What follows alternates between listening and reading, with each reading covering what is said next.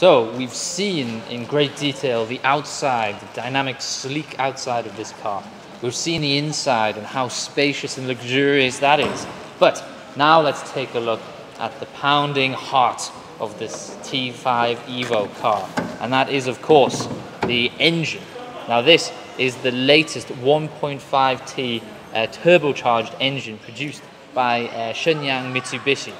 Um, the gearbox is a Magna uh, 7DTC uh, 300 chassis as well. And for functions, this has got so many functions. It's incredible. There are cruise control, ventilation heating uh, in the driving prediction, uh, induction trunk, 360 video, HUD uh, head-up uh, display. There's L2 automatic driving, intelligent parking systems, lane departure systems, etc. I could go on and on, but I don't have enough breath left. Um, so this is a, a very important highlight. Uh, apart from the engine, there's also the chassis, which uh, of course goes uh, underneath there. This is the SuperCube EMA chassis, uh, built on SuperCube EMA architecture, which is very scalable. Um, it has a 4 plus 1 architecture, uh, 117 standard modules, and a generalization rate of 70%.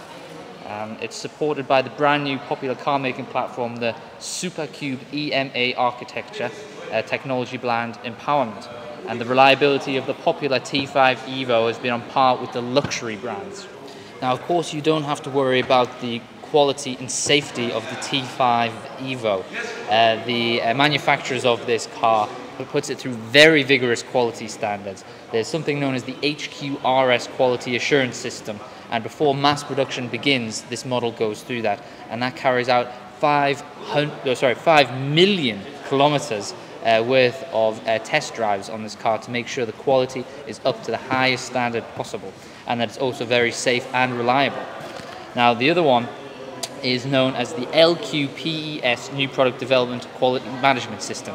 Now, this implements over 3,000 different quality management processes uh, throughout the production of the car, making sure that each process where it all comes together uh, has the highest quality.